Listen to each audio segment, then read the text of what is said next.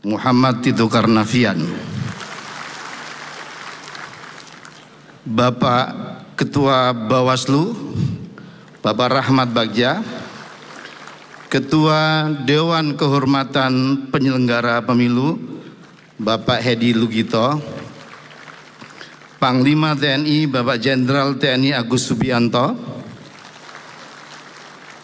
Bapak Kapolri Bapak Listio Sigit Prabowo Jaksa Agung Muda Tindak Pidana Umum Bapak Asep N. Mulyana Pejabat Eselon 1 dan 2 Kementerian Lembaga serta kolega saya pimpinan anggota KPU Republik Indonesia hadir lengkap dan juga Pak Sekjen KPU Republik Indonesia serta seluruh jajaran KPU Provinsi se-Indonesia dan Kabupaten Kota se-Indonesia serta para sekretaris KPU Provinsi dan Kabupaten se-Indonesia yang kami banggakan tanpa mengurangkan rasa hormat para tamu undangan sekalian yang berbahagia. Puji syukur kita haturkan kehadirat Allah Subhanahu wa taala, Tuhan yang Maha Kuasa. Pada pagi yang cerah ini kita bisa berkumpul di momentum yang luar biasa yang sama-sama kita rindukan yaitu rapat konsolidasi nasional dalam rangka kesiapan Pilkada 2024. Dalam kesempatan yang baik ini, perkenankan kami Bapak Presiden mengucapkan terima kasih yang setinggi-tingginya atas perkenan Bapak Presiden hadir di kegiatan yang penting bagi kami ini. Kehadiran Pak Presiden begitu semalam kita infokan ke teman-teman rasanya sebagian sudah tidak bisa tidur.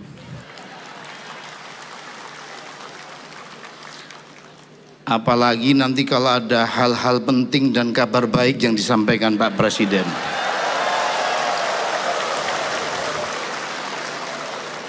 Inilah Bapak Presiden warna-warni keragaman KPU se-Indonesia yang kemarin 2024 menggelar pelaksanaan pemilu serentak dan hari ini meskipun seluruh tahapan pemilu belum selesai, kami sudah harus bersiap untuk menggelar pelaksanaan Pilkada serentak 2024. Bapak Presiden dan para undangan yang kami banggakan, teman-teman sahabat penyelenggara pemilu sekalian. Terhitung hingga saat ini, 98 hari lagi, 98 hari lagi kita menuju hari H, hari pelaksanaan Pilkada serentak 2024. 27 November 2024. Alhamdulillah Pak Presiden, tepat 19 Agustus kemarin, seluruh sengketa hasil pemilu yang berlangsung di Mahkamah Konstitusi yang menyisakan tujuh perkara kemarin Alhamdulillah bersamaan dengan konsolidasi ini seluruh perkara tersebut dinyatakan selesai. Dan dengan demikian maka teman-teman penyelenggara sekarang konsentrasinya tinggal penetapan hasil pemilu. Untuk selanjutnya kami semua akan melaksanakan pelantikan DPR, DPD dan juga Presiden terpilih. Lebih dari itu, kegiatan ini merupakan bagian dari konsolidasi kita untuk menyiapkan jajaran KPU se-Indonesia dalam rangka menghadapi Pilkada serentak 2024 kami selaku pimpinan KPU Republik Indonesia memberikan apresiasi yang tinggi kepada jajaran KPU se-Indonesia yang di tengah kesibukan tahapan pemilu nasional juga sudah menyempatkan menyiapkan tahapan-tahapan pilkada serentak. Bapak Presiden, Bapak Ibu, undangan dan juga teman-teman sahabat penyelenggara pemilu yang berbahagia. Di tengah padatnya pelaksanaan tahapan pemilu 2024 dan Pilkada serentak tahun 2024. KPU juga sedang berupaya untuk turut memajukan demokrasi, politik dan pemilu di Indonesia dengan pendirian Akademi Pemilihan Umum di mana diharapkan adanya jenjang pendidikan ini dapat menyiapkan penyelenggara pemilu yang matang, kompeten dan profesional yang benar-benar memenuhi harapan rakyat yakni pemilu akuntabel dan transparan. Nantinya di Akademi Pemilihan Umum ini akan dipelajari tentang kepemiluan, tata kelola keuangan partai politik, dana kampanye, logistik pemilu, dan berbagai hal lain tentang pelaksanaan pemilu. Bapak Presiden, Bapak Ibu sekalian, para undangan dan juga teman-teman sahabat penyelenggara pemilu. Perlu kami laporkan bahwa rapat konsolidasi nasional dalam rangka kesiapan Pilkada 2024 ini diselenggarakan dalam rangka memberikan pemahaman yang sama terhadap ketentuan dan yang harus dipedomani untuk menindaklanjuti isu-isu strategis, mendapatkan masukan dan juga saran konstruktif dan membangun untuk kesuksesan persiapan pelaksanaan Pilkada 2024. Kegiatan ini diikuti oleh 3.743 orang peserta yang terdiri dari peserta KPU RI sebanyak 406 orang, peserta KPU Provinsi atau KIP Aceh sebanyak 246 orang, peserta dari KPU Kabupaten Kota sebanyak 3084 orang serta narasumber tamu undangan dari kementerian dan lembaga sebanyak tujuh orang. Bapak Presiden, para tamu undangan dan juga teman-teman sahabat penyelenggara sekalian yang berbahagia. Menjelang tahapan akhir pemilu 2024, kami jajaran KPU baik di tingkat pusat maupun di tingkat provinsi dan juga kabupaten kota ingin mengucapkan terima kasih atas kinerja dan dedikasi yang telah tercurah kepada seluruh jajaran dalam menyukseskan pemilu serentak 2024. Kami menyadari setiap periode pemilu tantangannya berbeda-beda. Setiap periode pemilu aktor penyelenggaranya juga berbeda-beda. Tapi insya Allah kami semua manusia biasa dalam kesempatan yang sangat baik ini perkenankan kami memohon maaf jika dalam gelaran pemilu serentak kemarin ada hal-hal yang kurang berkenan, ada hal-hal yang dianggap kurang maksimal. Insya Allah kami akan berpedoman pada prinsip al-muhafadoh alal qadimi salih wal akhdu ay wal ijad bil jadidil aslah kita akan mencoba mempertahankan praktek pelaksanaan pemilu yang baik yang sudah ada dan berusaha untuk mewujudkan, menginovasikan hal-hal baru untuk pelaksanaan Pilkada 2024 ke depan. Kami juga berdoa agar semua proses tahapan pilkada besok berjalan dengan baik dan seluruh hadirin yang hadir di sini diberikan kesehatan dan kemampuan untuk menjaga pilkada kita berjalan dengan baik. Bapak Presiden yang kami banggakan, para tamu undangan sekalian, ada pepatah adigium yang lekat di para penyelenggara kalau dulu sebelum tahapan pemilu yang punya istri bertanya pulang jam berapa? Kalau sekarang sudah tahapan pertanyaannya pulang atau tidak. Yang punya suami demang dengar demikian. Ini karena saking padatnya tahapan. Ada juga pepatah adigium yang sering kita dengarkan penyelenggara pemilu ini pantang pulang sebelum tanda tangan. Apa itu artinya?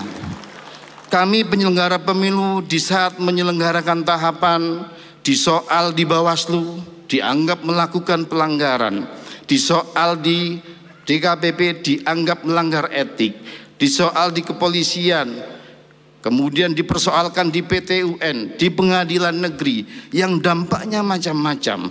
Kadang-kadang jadi tersangka, kadang-kadang diberhentikan, kadang-kadang juga kami dinyatakan salah secara administrasi. Tapi semua itu tidak akan membuat kami cerah untuk senantiasa memedomani seluruh aturan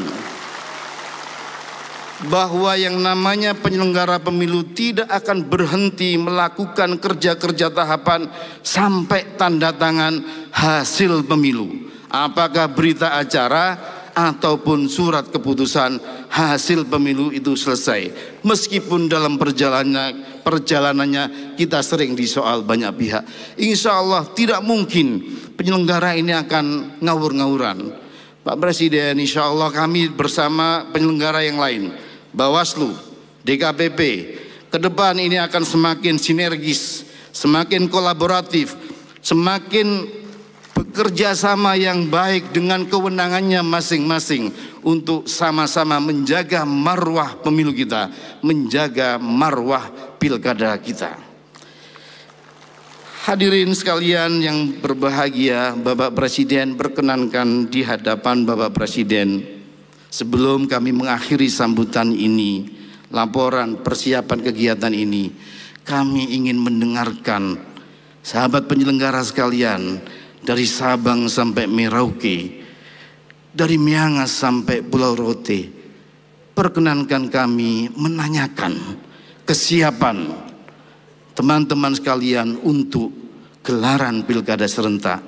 Apakah teman-teman sekalian, sahabat penyelenggara sekalian, siap untuk menggelar pilkada serentak 2024? Siap? Siap? siap? Insya Allah Pak Presiden, Pak Menko Polhukam, Pak Mendagri, Pak Kapolri, ini kami sering dikumpulkan juga sama Pak Menko konsolidasi. Besok dari sini Regio Jawa kumpul di Jogja. Sudah lima konsolidasi kita gelar dan ini merupakan energi yang luar biasa bagi penyelenggara pemilu untuk suksesnya pemilu. Kami sadar Bapak Ibu sekalian, pemilu ini hajatan kita semua. Tidak boleh ada yang ego merasa bisa ngurusin pemilu.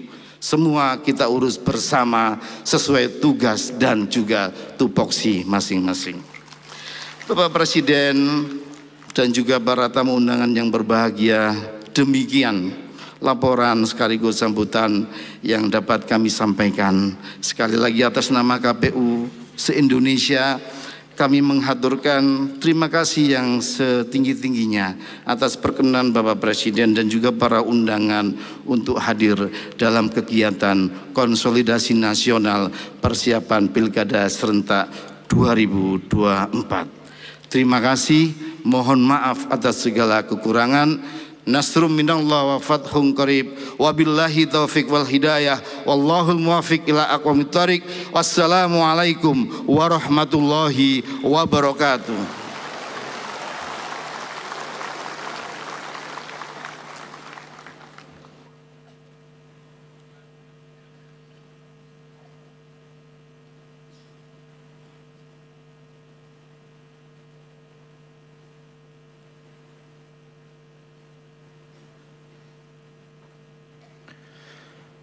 Bapak Ibu hadirin yang kami hormati, selanjutnya kita saksikan bersama penayangan video mengenai kesiapan Pilkada serentak tahun 2024.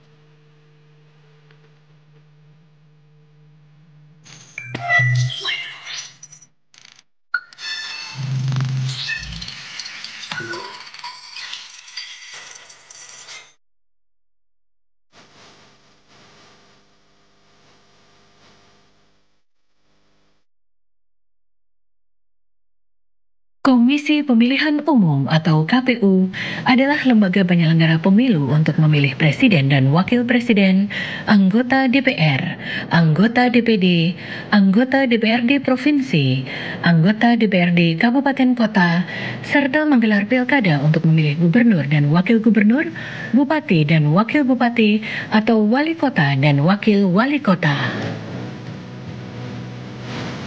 KPU melayani peserta pemilu yaitu partai politik dan perseorangan serta melayani warga negara Indonesia menggunakan hak pilihnya. Pilkada akan digelar secara serentak pada 27 November 2024. Segenap pimpinan KPU yaitu Ketua KPU Muhammad Afifuddin, anggota KPU August Melas, Betty Epsilon Idrus, Idam Holik, Yulianto Sudrajat, dan Parsadaan Harahap bersama Sekretaris Jenderal KPU Bernard Dermawan Sutrisno beserta jajarannya pada 38 KPU Provinsi dan KIP Aceh serta 514 KPU KIP Kabupaten Kota bekerja menggelar tahapan Pilkada 2024. Tahapan Pilkada 2024 dimulai pada 31 Maret 2024. Kemudian dilakukan bertahap pemutakhiran data pemilih dan penyusunan daftar pemilih. Lalu dilakukan tahapan pencalonan gubernur dan wakil gubernur, bupati dan wakil bupati, atau wali kota dan wakil wali kota. Kemudian tahapan pengadaan logistik pilkada dan tahapan kampanye diiringi dengan sosialisasi kepemiluan berupa pendidikan pemilih pasca pemungutan suara tahun 2024 di daerah tertinggal, terdepan, dan terluar, serta pemutaran film Tepatilah Janji. KPU bekerja sepenuh hati dan sepenuh waktu dengan tanggung jawab dan menjunjung tinggi integritas dan akuntabilitas untuk menyelenggarakan pilkada yang luber jurdil langsung umum, bebas rahasia, jujur dan adil bagi bangsa Indonesia. Saya yakin KPU mampu menjalankan tugas dengan baik. Pemerintah mendukung sepenuhnya agenda kerja KPU agar pemilu berjalan dengan jujur dan adil. Pemilu berjalan dengan baik, sukses dan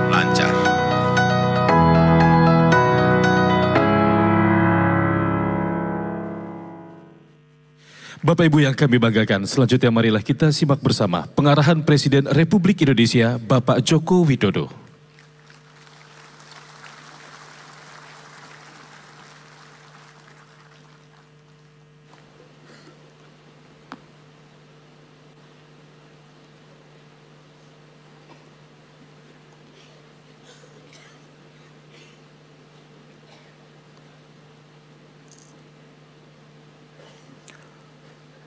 Bismillahirrahmanirrahim.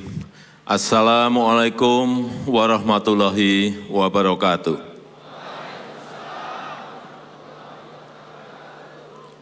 Selamat pagi, salam sejahtera bagi kita semuanya. Shalom, Om Swastiastu, Namo Buddhaya, salam kebajikan. Yang saya hormati Ketua KPU Bapak Muhammad Afifuddin, beserta seluruh jajaran komisioner Komisi Pemilihan Umum Republik Indonesia, yang saya hormati pimpinan BPK, para menteri, Kabinet Indonesia Maju yang hadir, Pak Menko Polhukam, Pak Menteri Dalam Negeri, Panglima TNI, Kapolri, yang saya hormati Ketua Bawaslu, Bapak Rahmat Bagia, Bapak Ketua DKPP, Pak Hedi Lukito, yang saya hormati Ketua KPU Provinsi dan Ketua KIP Aceh, beserta seluruh jajaran yang hadir pada pagi hari ini, yang saya hormati Ketua Kabupaten dan Kota KPUD se-Indonesia, Ketua KIP Kabupaten Kota se-Provinsi Aceh, beserta jajaran Bapak Ibu hadirin dan undangan yang berbahagia. Pertama-tama saya menyampaikan penghargaan, sangat menghargai, sangat menghormati kerja keras KPU dari pusat sampai daerah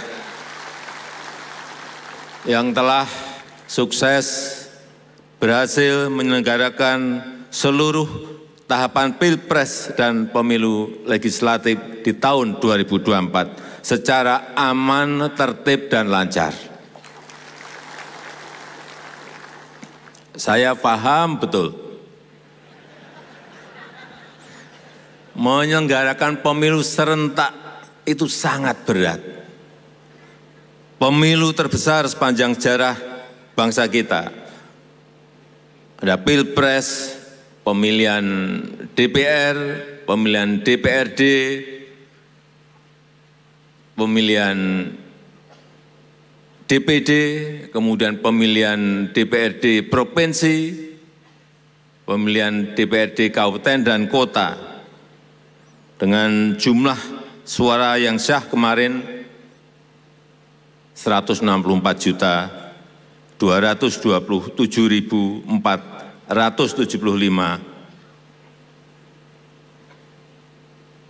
suara yang ada di 822.699 TPS. Saya membayangkan saja betapa sangat banyak ternyata TPS di saat pemilu kemarin. Dan dilakukan secara bersamaan. Oleh sebab itu sekali lagi saya menyampaikan terima kasih yang sebesar-besarnya.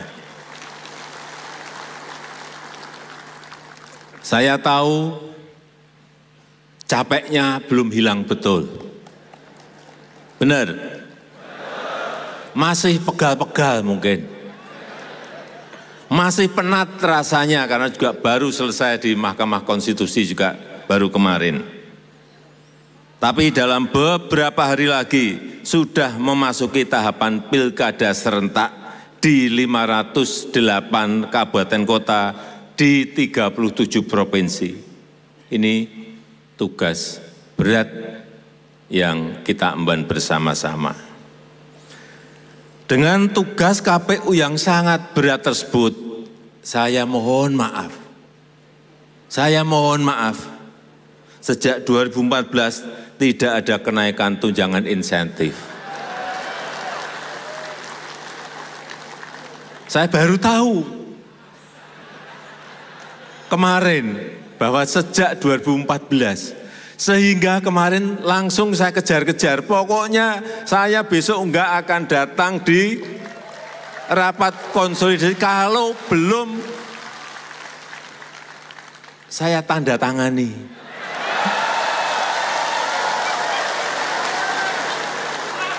Alhamdulillah kemarin sudah saya tanda tangani.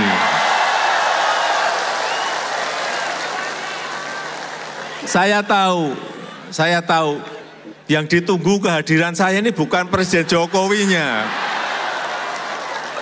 Yang ditunggu yang itu, saya tahu. Saya tahu. Setelah saya kemarin, waduh, waduh, ini sejak 2014. Dan formula kenaikannya sederhana. Hitung, hitung, hitung, hitung, kemudian ketemu. Dan kemarin diputuskan kenaikannya sebesar 50 persen.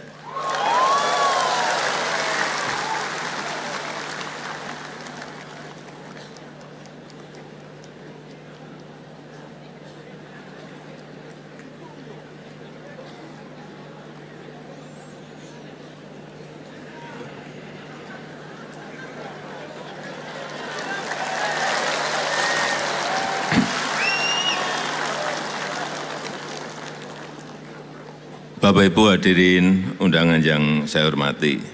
Pilkada sebentar lagi akan kita selenggarakan. Tidak kalah rumit dibanding pemilu yang lalu. Ini pilkada serentak pertama kali. Ini pilkada serentak pertama kali. Sekali lagi dilaksanakan di 508 kabupaten kota dan 37 provinsi.